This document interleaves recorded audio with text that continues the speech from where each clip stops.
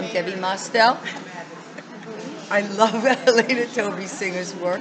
I have three of her strands in my house, and they're right by my cat door. So when the cat goes through the little door, her tail wags, and it rings the bells at the bottom of the strand.